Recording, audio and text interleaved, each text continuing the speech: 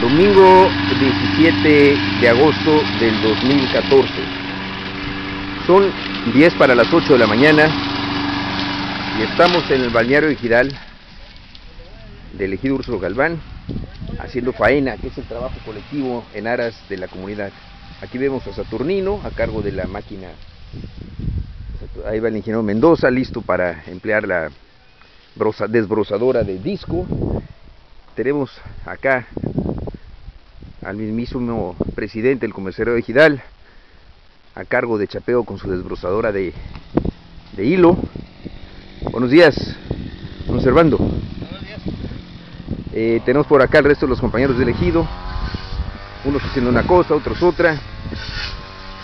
Yo interrumpí en estos momentos mi trabajo como integrante para hacer esta filmación, eh, como integrante elegido. Yo tengo a mi cargo el eh, orillar o que queden bien eh, limpios los espacios. y la señora ejidataria también, en su trabajo. Las palapas están siendo reparadas. Ahí vemos a Mejero Mendoza con su desbrozadora. Buenos días, señora. Aquí los compañeros están reparando algunas de las palapas elegido del balneario. Buenos días. Aquí Tiburcio, eh, de Demetrio Mo, que es el coordinador de esta faena. Buenos días, Demetrio.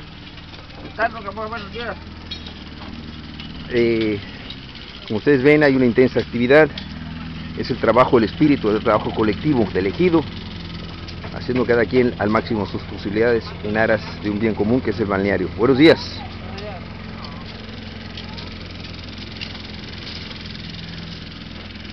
¿Cómo está? Muy buenos días, Eliseo.